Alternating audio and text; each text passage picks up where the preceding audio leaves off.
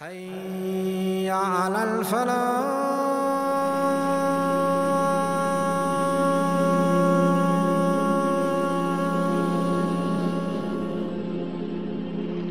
The evil eye is a kind of an illness or a kind of a trait which some people have and not everyone has. Not everyone gives people the evil eye.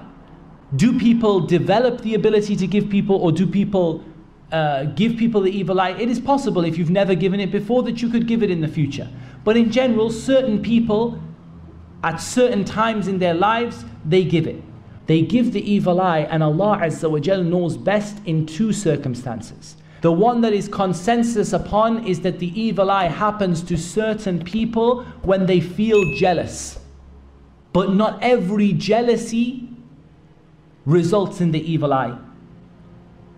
But there is in Allah Jal knows best, but it seems that there is a second example of the evil eye.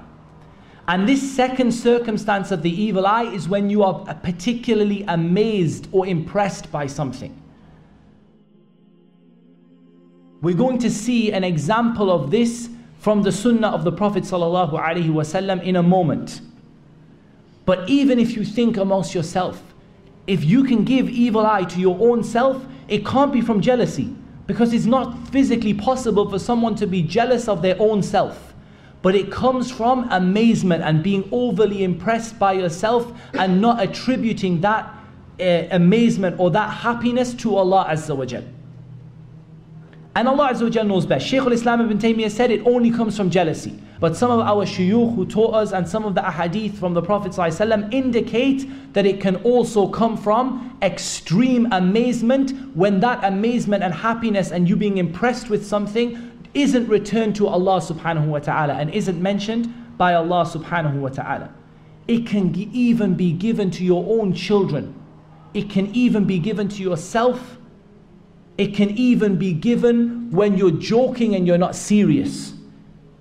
It's a very, very, very serious, serious, serious thing. Al Imam Ahmad and Al Imam al Tirmidhi narrated from Asma bint Umais anha that she said, O Messenger of Allah, the children of Ja'far have been afflicted by the evil eye. Shall we recite ruqya for them? He said, Yes.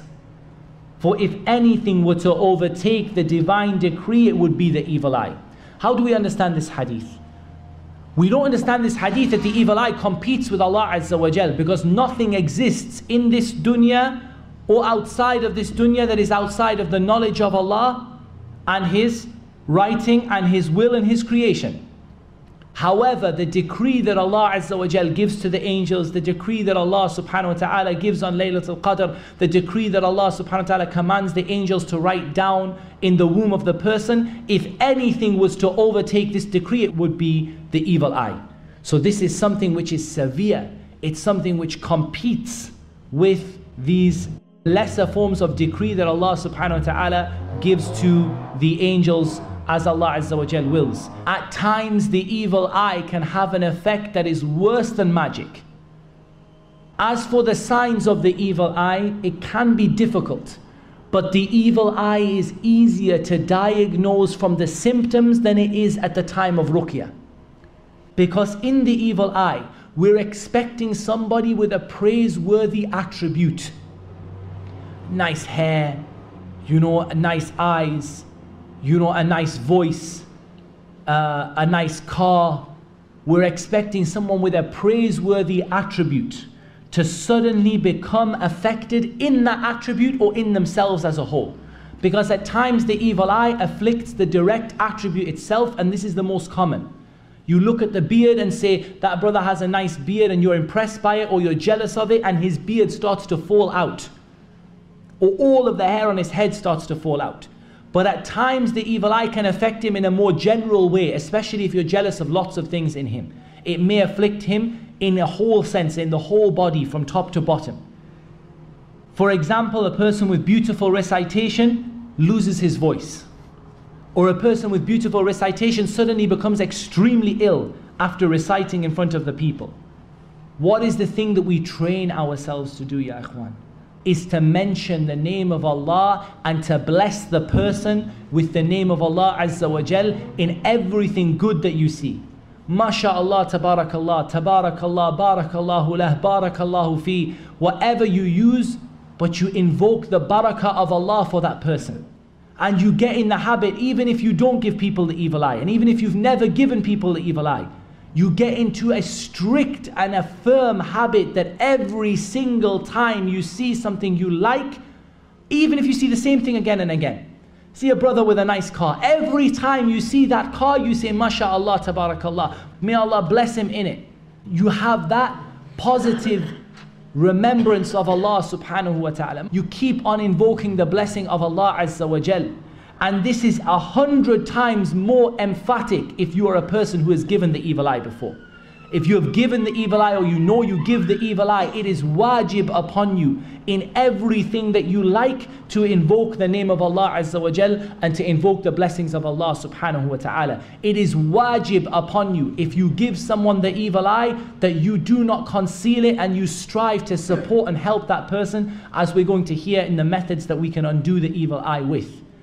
It's an obligation a fard, if someone comes to you in Islam and says, Ya akhi, make wudu for me and give me the water. It is fardu ayn upon you to give them the water. Not for you to say, Hey, are you accusing me? I'm not a jealous person. Astaghfirullah, would you say that I'm jealous? If you even suspect, Ya akhi, please make wudu for me. It is an obligation, fardu ayn, upon you if someone comes and asks you for your wudu water that you give it to them.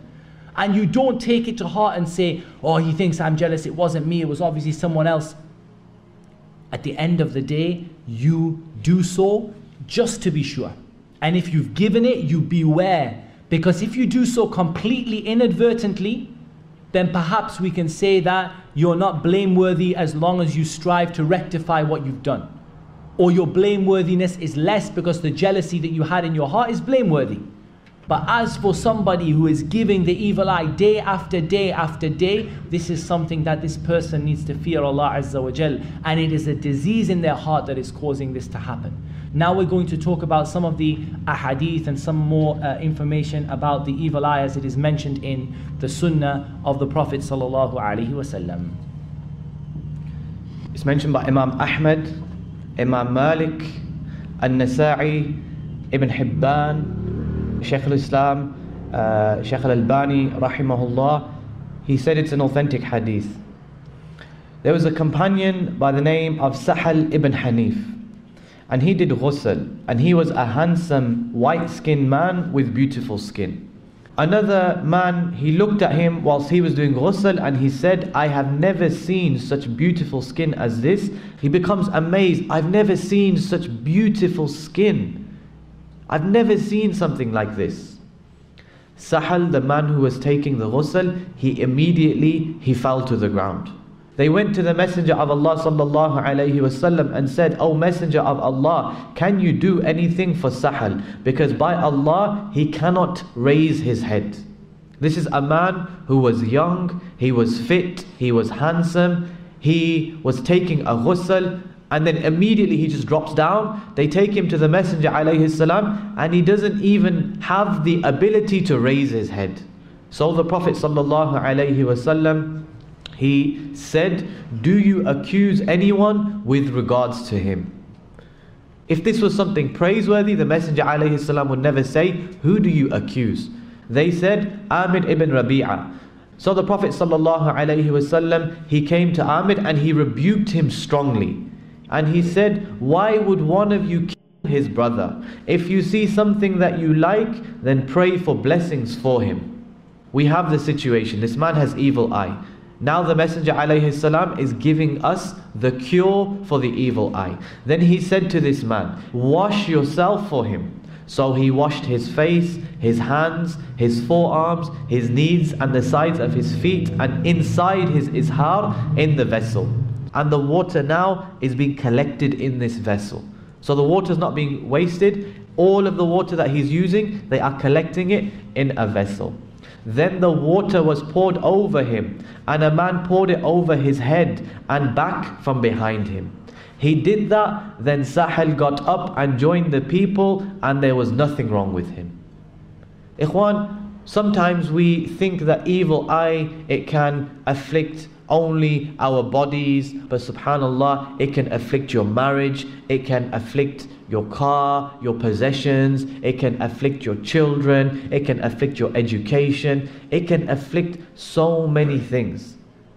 But like our brother has mentioned, sometimes it can afflict if a person is jealous of you as an individual, jealous of what you have. Subhanallah, it can afflict like more than one aspect. The Messenger alayhi he used to seek refuge in Allah from the envier when he envies. This means it has very real effects. Ibn al-Qayyim rahimahullah, he mentions in Zad al-Ma'ad that Seeking refuge with Allah includes refuge from the one who envies and with the one who puts the evil eye on another. So you may feel envy in your heart, but it may not necessarily lead to evil eye. So this is why وَمِن شَرِّ حَاسِدٍ إِذَا حَسَدٍ This is like you're seeking refuge in Allah from this whole thing. From those who envy, from those who will give you evil eye, this is why we have mentioned. If somebody turns around in ruqya and says, you know, for, for, the, for the evil eye, recite this obscure ayah or this ayah or this ayah or this ayah, and it's better than Surah Falaq, you say, Subhanallah. This was enough for the Prophet sallallahu alaihi wasallam, and now it's not enough for us. So this is why it's very important we stick to the sunnah of the Prophet sallallahu alaihi wasallam. Ibn al-Qayyim, he mentioned, the evil eye is like an arrow which comes from the soul of the one who envies and the one who puts the ain on another and he is envied and it sometimes hits him and sometimes it misses.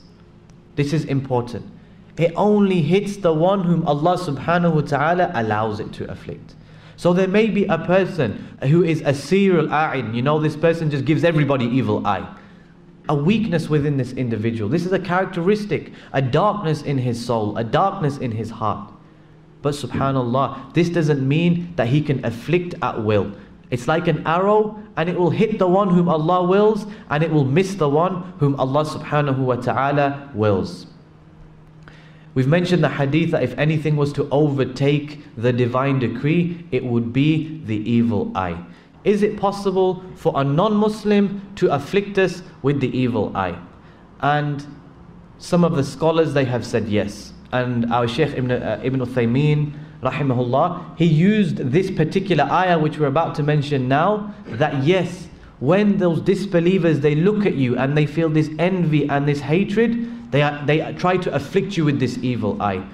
Allah subhanahu wa ta'ala mentions in Surah Al-Qalam, and indeed those who disbelieve would almost make you slip with their eyes when they hear the message. And they say, indeed he is mad. So they try and make you slip with their eyes. They give you this trial, this look which is so full of hatred, so full of envy that they're trying to cause you harm with the way that they look at you. But ikhwan, it's extremely important to note that evil eye is not just about looking.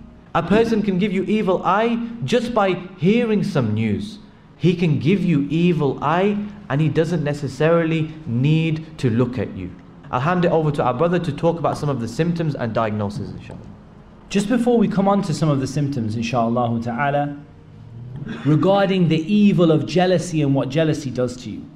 One of the greatest benefits of your belief in Qadr is that you believe that Allah has decreed what He's decreed for you. Whatever has missed you would never have come to you, and whatever has come to you would never have missed you. You may see people who actively work to take away something from somebody. You see jealousy in someone and I want to have it from him. You know, he marries somebody. I want to have that woman from him. I want him not to have it. I want it to be him to lose it. And this drives people to what? To magic. It drives them to magic that they want to take this woman away from this man because I want her and I don't want him to have her. Why should he have her? And it has this lack of belief in Qadr and it can lead a person outside of Islam. Those people who do so and they try to get it for themselves, push her away from him, bring her to me. Not only is he content with destroying the life of his brother, he wants to bring some benefit into his own life. But the worst of those people are those people who simply just want to destroy everything. There are those people who just can't get rid of this feeling inside of their own souls. They just can't, they can't purify it. They constantly feel an envy of people. No, this is a weakness in your tawheed and a weakness in your iman. If you come across a person like this, tell them to fear Allah, tell them to believe in qadr, that you can't remove this feeling of envy. What makes you think that you won't follow Iblis to where he's going to go? Which led Iblis astray was the disease of jealousy and the disease of hatred and envy.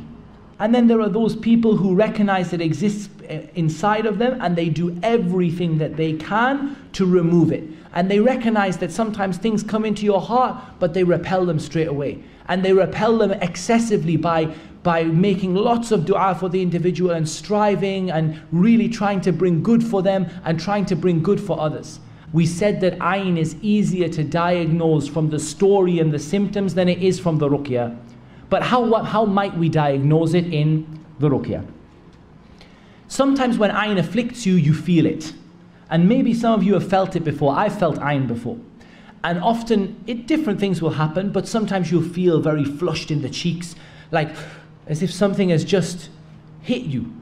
But it doesn't feel like a jinn.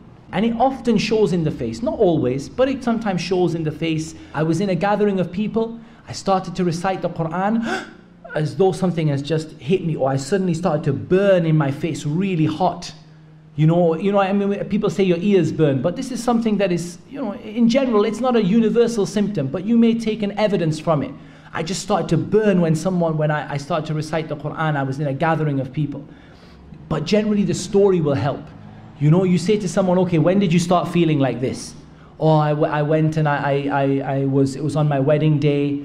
Yes, it may be magic that was done to break up husband and wife, but it may also be someone who saw the brother on the wedding day and thought, I want to be in his place. Bang. So take these things into account. Ask people the history and try your best to diagnose the symptoms. But the most important thing in Ruqya is what? Symptoms that don't fit anything else the person is reacting to the Quran, but you can't see any evidence of a jinn. Now be careful in this because the jinn can take a long time to appear days sometimes, weeks sometimes. So don't take it as a certainty. But in general, if you're seeing a pattern in your ruqya over somebody that you can't see any evidence of a jinn at all in a person, but they are clearly unwell when the Quran is being recited, they're clearly reacting when the Quran is being recited, it may be that they are suffering from the evil eye. My hypothesis is maybe this person is suffering from evil eye because I can't see the jinn. Why will this hypothesis save you? Because the jinn are not completely stupid. And by this I mean the shayateen. Some people say other symptoms, they have the weirdest symptoms that if you recite certain ayat, if you recite this or this word or that word, every time the word ayn comes in the Quran, the person will react. This doesn't really have any evidence, but not only doesn't have any evidence, it doesn't seem to work in experience. If it works for one patient, it doesn't work for five others. You know, one patient may yawn because of the evil eye, and people will say yawning is an evidence of the evil eye. But the hadith of the Prophet ﷺ indicates yawning is caused by what? The shaitan. If he yawns, he has the evil eye. If he doesn't yawn, he doesn't have it. Then this is where the raqi becomes misguided because he begins to let the jinn control him and play him, and the jinn is just playing him like a pawn, just moving him from one to the other. Keep them as possibilities Keep them there in the back of your mind, but don't have these things that you have jazm, that you're certain, because often the jinn will use it to trick you. I'm going to suggest to you a hypothesis that I have, and this is from my experience, and I'm not by any means saying that this is something that is certain. But it seems that a person is weakened, like their immune system is weakened when they are afflicted with a jinn, magic, or the evil eye, and some afflictions can lead to others. And this is just a, an observation that I've observed. Someone may have the evil eye, and they may, the evil eye may be followed by a jinn. Somebody may have evil eye from someone who then went to a magician. And sometimes the hardest cases, you can't crack them. You're thinking, it looks like the evil eye, and it looks like jinn, and it looks like magic, and I don't know what's going on. Maybe it's multiple jinn. Maybe it's the evil eye on top of the jinn. Maybe it's magic accompanied by the evil eye. bear these things in mind. Again, this is my observation. This is not necessarily, I don't have any evidence for it from the Quran and the Sunnah. It's something I've observed. But Alhamdulillah, Ruqya is a cure for all of them. But it may help you just to keep a hypothesis in your mind. I think maybe this person is suffering from black magic, and they seem to me, after the jinn is gone, they seem still to be a little bit unwell. Maybe they're also suffering from an after effect, maybe they're suffering from the evil eye bear in mind the possibility of having multiple things and combinations of problems. What do you do if you are afflicted by ayn? Let's say in this gathering today, you stand up and you walk out of the gathering today and you feel something has afflicted you, you feel very flushed, you feel unwell, so you fall down. You know that the evil eye has come from a certain number of people that were around you. So maybe there were five, six brothers around you. The first thing you're going to do is to ask them, as the brother said, to make wudu for you. And don't be embarrassed, don't be shy. Say, Ya akhi, look, I don't feel so well. Would you brothers mind giving wudu water? You don't, it's not, you don't take it as a, as a, as a huge uh, insult. Say, of course, bro, there you go, bismillah, there you go, take my wudu water, don't worry about it. Because even if it just gives him relax, he might just have not been well, he might have got a fever. But it just gives a person some confidence. Don't take it so much to heart. Give them the water. What do you do if the person refuses or the people refuse to give the wudu water? Before that, on the topic of the wudu water, my advice to you is do not mix the water with anything and don't dilute it. Keep it as it is. If you need to warm it up, pour hot water into a pan and just put your jug or your glass or your whatever it is on top of the pan until the, the water gets warm. And the only reason I advise you this is from experience, some of the people who have regular ayn and, and some people, unfortunately, who give regular ayn, it seems to be a more complete cure and people seem to feel better when it's not diluted and Allah Azza wa knows best. What do you do if the person won't make wudu? Some of the ulama, including a fatwa from Shaykh ibn Taymiyyah and some others, rahimahullah ta'ala, they indicated something. And I will be very clear to you that this thing is not found in the sunnah of the Prophet ﷺ, but I will be equally clear to you that it works. Because I've had too many evidences of it working. And that is that you take something from the person.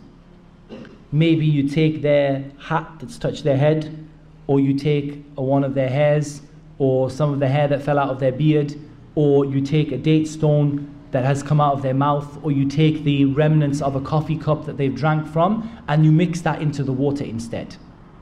If you are going to do this, Ya Ikhwan, learn this principle from me. Never, ever, ever do this without asking for wudu first. Because this will open the door to bid'ah and the door to the shaitan. I don't want to open the door to the shaitan that you have a remedy from the sunnah and you ignore it. But when you have no other choice, the person refuses to give their wudu water and you are fairly sure who it was, then some of the ulama, our salaf salih, they recommended this and it works by experience that you take something from the person, their hair, something that's touched the body, something from their, that has their sweat in it or that they, they, a handkerchief and you put it into the water and you throw the water over yourself trusting in Allah Azza wa Jal and asking Allah subhanahu wa ta'ala to make it of benefit to you this is something which works, but again, I will be clear to you. It isn't mentioned in the sunnah of the Prophet. If you do it, do it as a secondary option when you don't have another choice. Don't make it your primary thing that oh, I'm not going to ask him, it's embarrassing, and you go around just pulling people's hairs out and stuff like that. And I would think if you do this, it will not work because you are turning away from a clear, simple sunnah that you can practice for something else. But if you have an opportunity to do it because you can't find any other way, then you can do so. If you can't do that because the person has gone or you weren't comfortable doing it, you are left with the third thing, a clear sunnah from the Prophet ﷺ, which is to perform ruqya to remove the evil eye. Like magic is the quickest way to destroy magic is to destroy the contract. The quickest way to cure ayn is to get the wudu water or the water of the, the person that has had ayn done to them. Does ayn happen to objects?